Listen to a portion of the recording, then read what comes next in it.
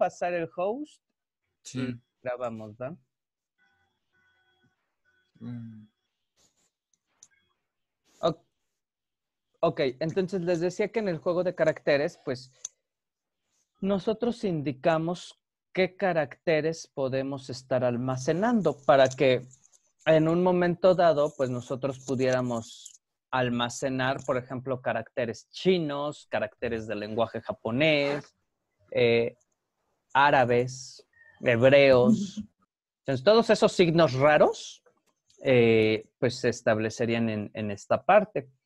UTF-8 es el juego de caracteres que maneja una diversidad más amplia respe- respecto a este, eh, a este tipo de signos. ¿Ok? Por eso ahí se los establecí como UTF-8. Pueden establecer también, por ejemplo, ANSI, an, eh, perdón, ASCII. El juego de caracteres ASCII solo maneja 127 caracteres diferentes y no es este, no son suficientes. Entre esos 127 caracteres no se incluyen las ñes, no se incluyen palabras acentuadas, este, con diéresis. Básicamente solo es el alfabeto inglés, mayúsculas, minúsculas, números y algunos signos es- este, especiales. Entonces, por eso yo les recomiendo UTF-8. Collate. Collate se refiere a reglas de idioma. ¿Ok? Eh,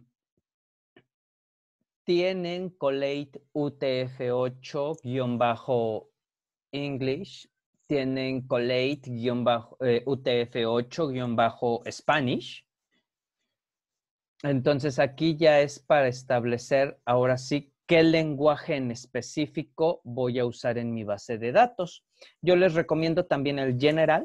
Eh, el idioma español se, comporta, se, se comporta, se junta, se mezcla muy bien con el general. Eh, y bueno, aquí ahora se involucran reglas como por ejemplo cuando ustedes están buscando datos. Si ustedes establecen, por ejemplo, en inglés y yo busco el nombre de Rubén, puede que en la base de datos Rubén esté escrito con acento en la E. Si yo busco la palabra sin acento y está en idioma inglés, no lo va a encontrar. Va a ser como diferencia entre Rubén con acento y Rubén sin acento. Va a decir, son palabras diferentes.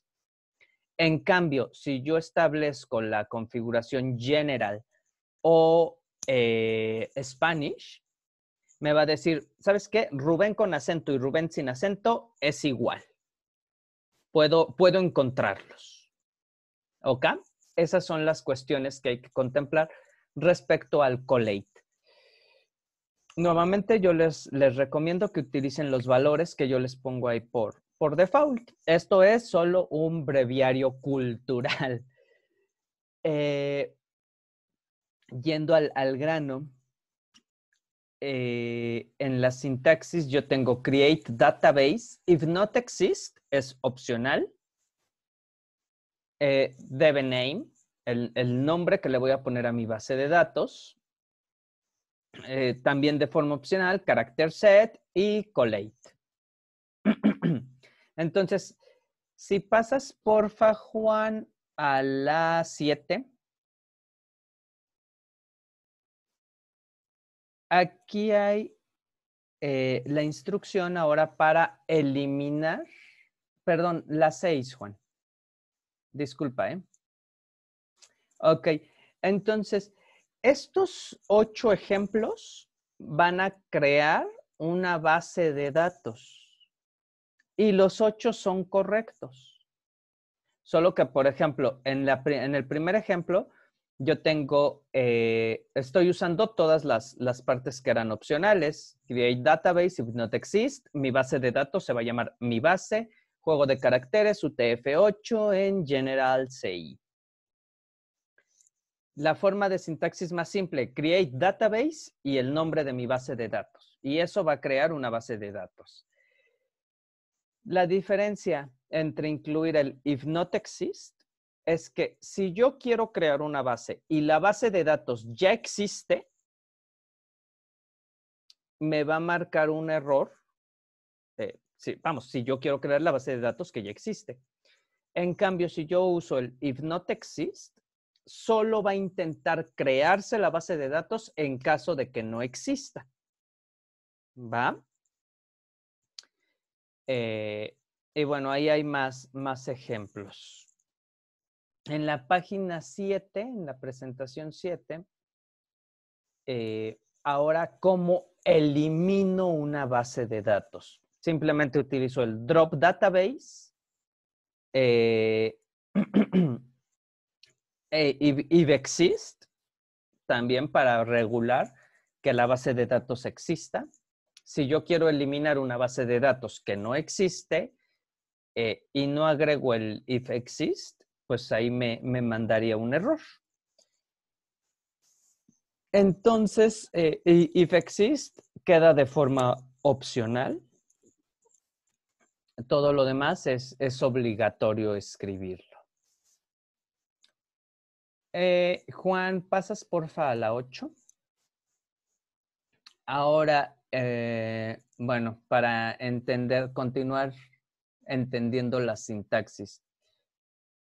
Los elementos opcionales van entre corchetes, entre brackets. Los nombres de objetos van en cursivas. Y si se dan cuenta, por ahí en la parte de abajo hay un null y not null. Cuando tenemos dos o más valores para seleccionar, los separo a través de un pipe. El pipe es la rayita parada. Entonces, aquí, por ejemplo, si yo tengo null y not null, quiere decir que puedo seleccionar uno de esos dos eh, elementos. ¿Va? Una, de esas dos opciones. Em, ¿Podemos ver la siguiente, Juan, por favor? Ok, ahora sí a lo que nos, nos interesa. ¿Cómo voy a crear mis tablas? Las tablas que corresponden a la base de datos. Vamos a escribir create. Temporary es eh, opcional. Una tabla temporal solo va a estar viva mientras que estamos conectados al servidor de la base de datos. En cuanto nos desconectamos, la base de datos, eh, perdón, la, la tabla se elimina en automático. Entonces, solo en casos específicos vamos a usar temporary en general no, la usamos, pero es una opción que existe.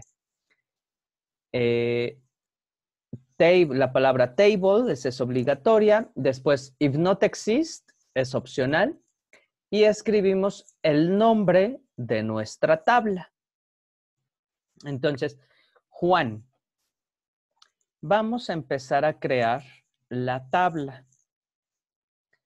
Copia por favor, la primer línea, ese create temporary.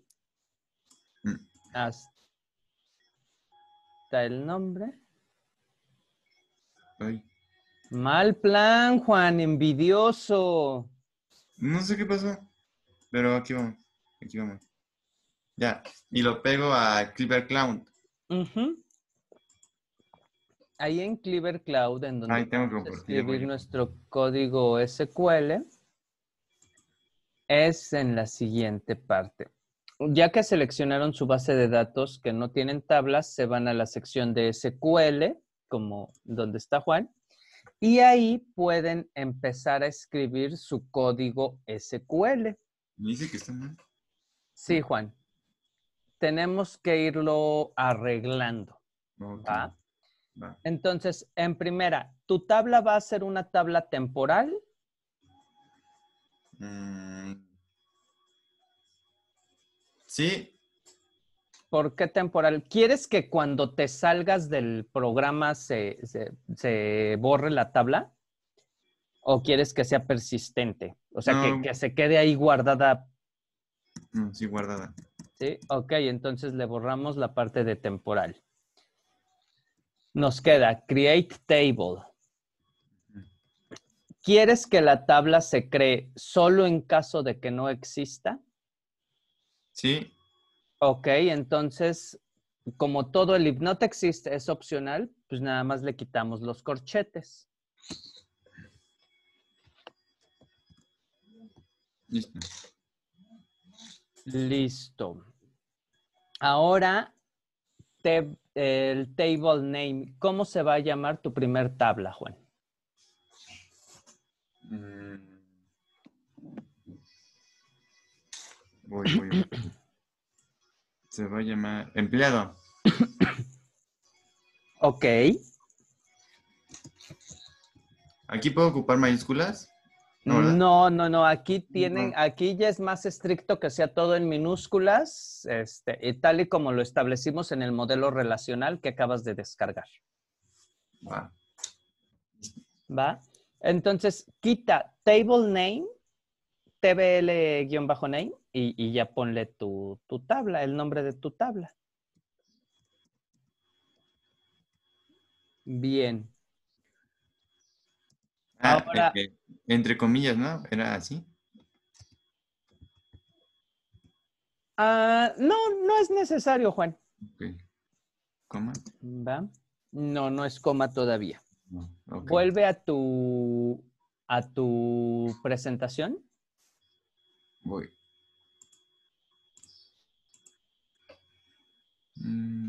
Ah, debo, debemos de poner si es nulo o no nulo. Espera, espera. Todavía no vamos hasta ahí.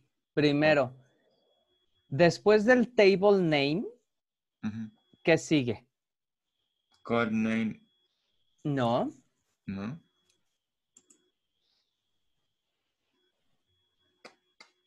¿Qué hay después de table name? Bueno, hay un enter. ¿Qué hay en la siguiente línea? Un paréntesis. Ah, entonces, entre paréntesis, Ok. A regresarnos.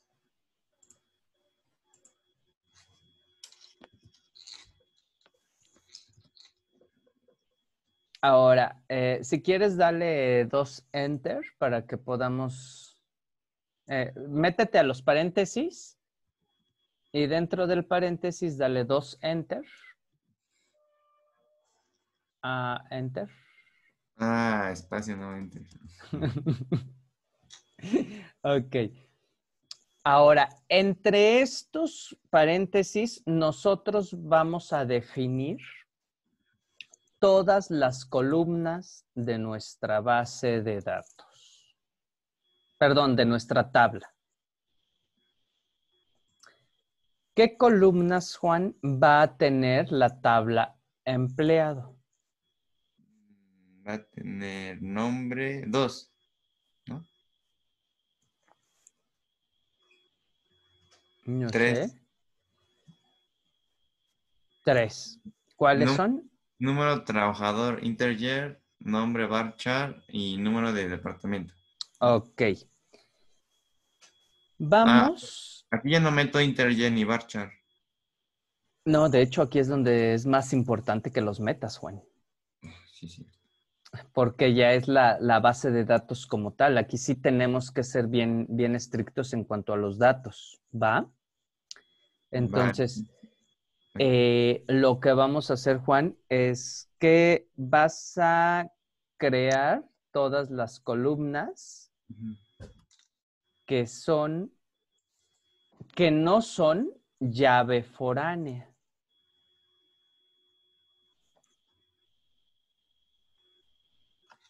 Entonces, ¿cuáles son las columnas que no son llave foránea? Ah, la llave foránea es FK, ¿no? Ajá, Ok, entonces nada más sería nuevo trabajador, integer, Ajá. nombre, nombre, varchar. ok. Entonces, oye Juan, ¿no hay, no hay forma de que nos compartas tu pantalla completa para que Eh, podamos ver todos al mismo tiempo este, tu, tu, la presentación y tu- tus instrucciones SQL? Mm, ¿Cómo? Si es que ahorita estás dividiendo las pantallas, ¿no? Estás, solo muestras una pantalla. Ajá. Mira, si, si das clic en tu navegador en la parte de arriba, como si fueras a arrastrar la ventana hacia otro lugar, sabes arrastrar ventanas, ¿no? Entonces, como que la arras arrástrala del lado izquierdo para que se pegue en el lado. Ya. Ah, no, bueno, ahí moviste tus pestañas. O sea, yo digo arrastrar toda la ventana. Todo el navegador. Mm, Ay, no. A ver, discúlpeme, profe, pero ¿cómo es que reprobé informática? Eh, Es para es- que dividas tu pantalla en dos. Eh, ¿Y dónde hago eso? ahí- a, a ver, ahí en los botones de arribita, dale, minim- no minimizar, dale restaurar. Ahí, ajá. Ahora, hasta arriba, ah, tú puedes arrastrar tu ventana. ¿Sí? ¿Sabes cómo arrastrarla? Ya, ya lo sé. Ok, arrástrala hasta la izquierda.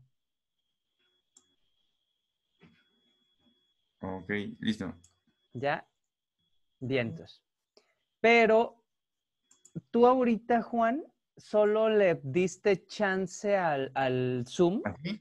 Ándale, así mero. Ah, ok. Ok. Después, eh, vamos a, ver cómo definimos ahorita los, lo- los campos. Entonces, si nos damos cuenta ahí en la sintaxis, ya tenemos los paréntesis.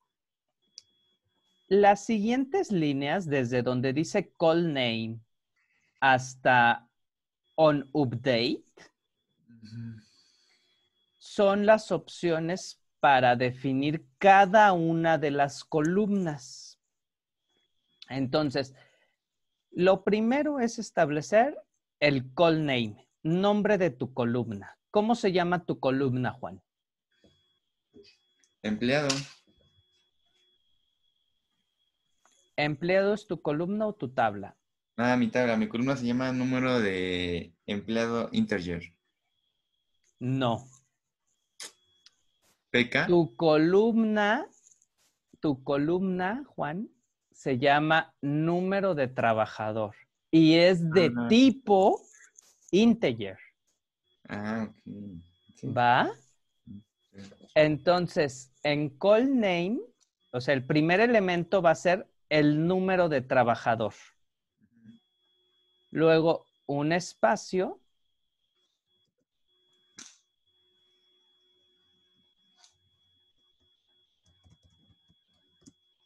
Ahora sí, el data type, el tipo de dato. ¿Cuál es el tipo de dato? Integer. Ok.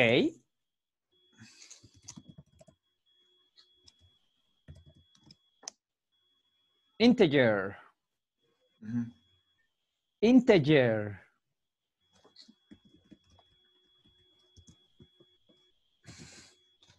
Juan. Integer. Inte, pues por eso. Inte. Inte. No inter. Ah, ok, sí, cierto. ¿Va? Si no, eh, si no van a tener errores, Juan, al, al ejecutarlo. Y Sí. ya, si tienen errores, pues no, no va a salir, ¿va? Va. Ahora, de forma opcional, puede ser nulo o no nulo. Número de trabajador es mi llave primaria. Por el simple hecho de ser llave primaria, va a ser no nulo. No hay Eso lo más. pongo entre paréntesis o entre comillas, ¿no? ¿Verdad? Lo puedo Entrenada. espacio Ajá. y not null. Ok. Entonces, esa era una parte opcional, por lo tanto está entre corchetes. Pero aquí como, como es una eh, llave primaria, pues se vuelve, se vuelve obligatorio. Ujú. Después, default, si van a tener algún valor por, por default, ¿va? En este caso, no vamos a tener valores por default. Eh, es una llave primaria. Juan, ¿va a ser autoincrementable este campo? Incrementable. Sí, ¿no? Porque es número de trabajador, ¿no? O sea, puede... Sí, porque va a ir generando un consecutivo, Sí. números consecutivos. Ok. Entonces, ahora escribe autoincrement. Así como está ahí. Ah, Correcto. Ahí está.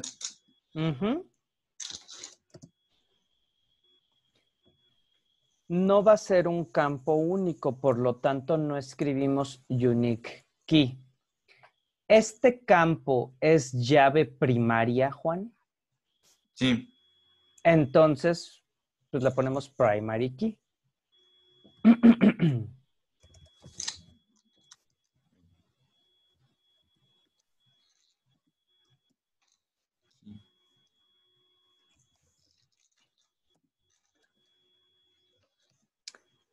Ahora, el collate es, eh, funciona de la misma forma que como funciona en las bases de, de datos, en la instrucción que les di anteriormente, pero solo es para textos.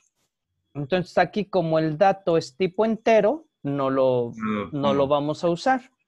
No es llave foránea, por lo tanto, tampoco usamos lo de references.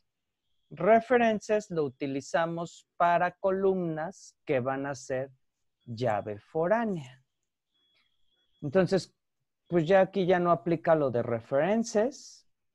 On delete y on update son parte del references. Entonces no, no los usamos para esta columna. Con esto solo hemos definido la primer columna, que es el número de trabajador. Vamos a definir la otra columna. ¿Cuál es la otra columna, Juan? Mm, nombre varchar. Ok, entonces vamos a ponerle ahí después del primary key una coma. Dale enter para que escribas en la columna de abajo. Vete hasta el principio, porfa. Listo. Ahí está. Ok. Entonces, otra vez, la misma definición de la columna. Call name, nombre de la columna. Nom- nombre varchar. Ah, nombre de la Juan. columna. Empleado, empleado, empleado, empleado. Juan. Número de trabajador. Juan, el número de trabajador ya lo definiste. Amigos, Amigos, ayúdenle. otra vez, la pregunta cuál era? Era, ¿Cuáles son las columnas de tu tabla? mis columnas son número de trabajador, Ajá. interjet, Y Es el nombre, ¿no? Nombre de trabajador. Es correcto, sería el nombre. La, la Ah. siguiente columna es el nombre, ¿no? Sí, ¿no? nombre. Ahí ya me. Para ver. Call name es nombre. Ujú. Espacio. Ah, lo puedo poner así, ¿no? Nombre. No. No sé cómo se lo querías poner, Juan. Pensaba que tenía que estar subrayado. No. No, no, no. Ahora, data type. ¿De qué tipo de dato es el nombre? Chicos, ¿De texto? Texto. Texto, ¿no? Eh, con base en nuestro modelo relacional, ¿qué tipo de dato le pusimos? Sí, o sea, sí es texto, pero en específico el tipo de dato MySQL. Varchar Ok, ¿de cuántos? 45. De 45. Ok, entonces quedaría el nombre, espacio, varchar y entre paréntesis 45. ¿Qué pasa aquí? Entre paréntesis, Juan, enseguidita del varchar, sin espacio. Listo. Ahora, ¿va a ser nulo o no nulo?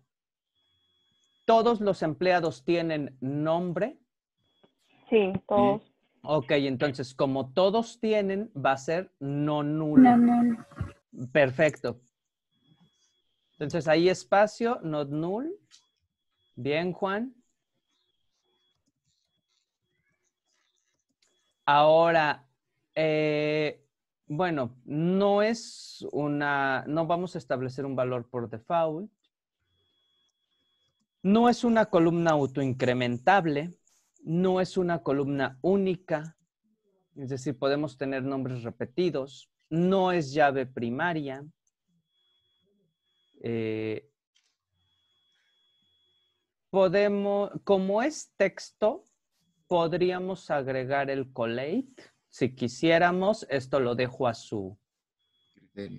a su criterio, chicos. ¿Va? Entonces, ¿se lo quieres poner o no se lo quieres poner, Juan? No. ¿No? Ok, entre más fácil mejor, ¿verdad? Sí, ¿o qué opina el, el grupo? No, así está bien. Sí. Sí. Ok, bueno. Entonces, como aquí ya es, solo teníamos dos columnas y esta ya es la última. Digo, bueno, o sea, teníamos tres columnas, pero las otras son llaves foráneas. Entonces, eh, solo, en un principio solo vamos a crearle las columnas que son, que no son llaves foráneas.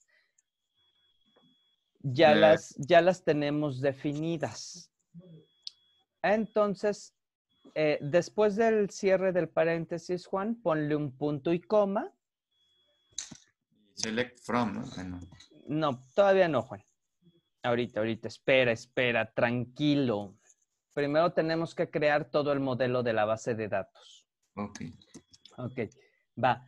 Eh, todas las instrucciones SQL terminan con punto y coma. Eso es importante que lo sepan, chicos. Pueden ejecutar varias instrucciones seguidas, una después de otra, pero todas deben ir separadas por punto y coma.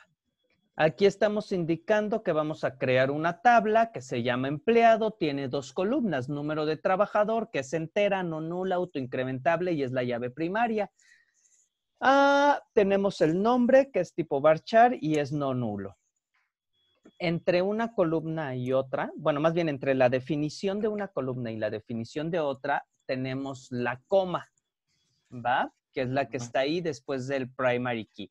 Si aquí tuviéramos más columnas después del nombre, pues ahí después del not null le pondríamos una coma y continuamos con la siguiente eh, definición de columna. Pero como ya no hay, pues ya ahí, ahí terminaría. Hasta aquí, ¿dudas? ¿No? No, para Ok. mí. Esta es- este es código DDL. DDL es para definir datos, para crear la estructura donde voy a guardar la información. Juan, dale copiar, control C a tu texto. Estas, ajá. Eh, yo le digo a Juan que las copie porque como ahorita lo está haciendo desde el PHP MyAdmin, ustedes van a tener que enviarme estas instrucciones. Si ustedes los trabajan desde el PHP MyAdmin, no van a tener forma de guardar las instrucciones. Por lo tanto, pues, copien para, y, y lo pegan en un blog de notas o algo para que no se pierda la instrucción que crearon. ¿Va? Entonces, ya una vez que la tienes pegada o guardada por ahí en algún lado, Juan, hacemos clic en Go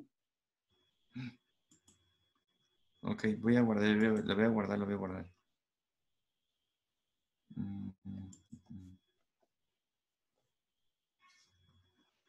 La- Ahí está.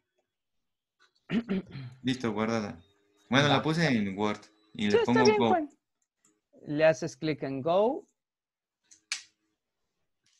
Si todo ocurre bien, ahí en la instrucción se pone una palomita. Si tuvieron algún error, se va a poner una X y la barra no va a ser amarilla, va a ser roja. Y les va a decir cuál fue su error. Obviamente se los va a decir en inglés, pero pues tienen una guía para ir este para ir eh, em, para ir guiándose. ¿Ok? Otra vez vete ahí en donde dice SQL, Juan. Vamos a comprobar que la tabla realmente se creó. Entonces, Juan, ahí en donde dice, en donde vas a meter el comando SQL, escribe show tables.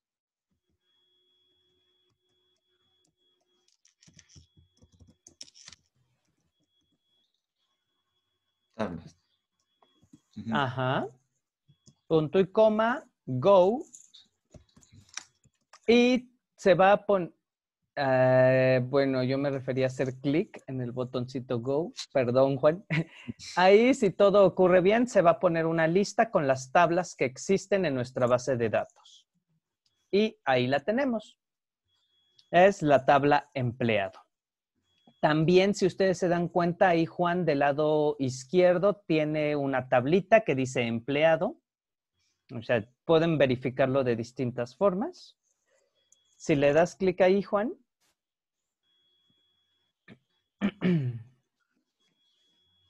Ahora ya en el, en, en el MySQL se, se pone abajo una lista con las columnas.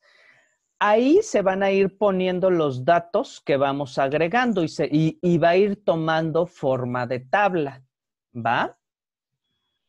Va. Ok. Entonces, eh, para, para, para seguir agregando es edit name, ¿no? Edit. Ah, puedes hacerle edit inline, edit, o, otra vez le haces clic en donde dice SQL y te vuelve a mandar al, al cuadrito. Cualquiera de las opciones es, está Mm. bien. Y lo podemos eh, modificar y así. Ok. ¿Va? Chicos, nos tomamos 15 minutos, regresamos 12.10 para continuar, no sé, que, que se despejen tantito y continuar con la creación de las tablas. Sí, profe, gracias. Sí, profe. Ok. Entonces nos vemos en 13 minutitos, ¿va? Tómense un agua por ahí fresca para Sí, despertar. gracias, profe. Sí, gracias, profe. Ok, chicos. Gracias. Vale, entonces por aquí nos vemos. Le paso el control. Este, si quieres, cierra la reunión, Juan. Bueno, está bien. Por eso, digo, sí. ¿Dónde la cierro? En donde dice Leave, Leave Meeting, te sale una opción para terminar para todos. Oh, for all. Ajá. In meeting for all. Ajá. Ok. En 10 minutos nos vemos, profe. Bye. Vale, bye.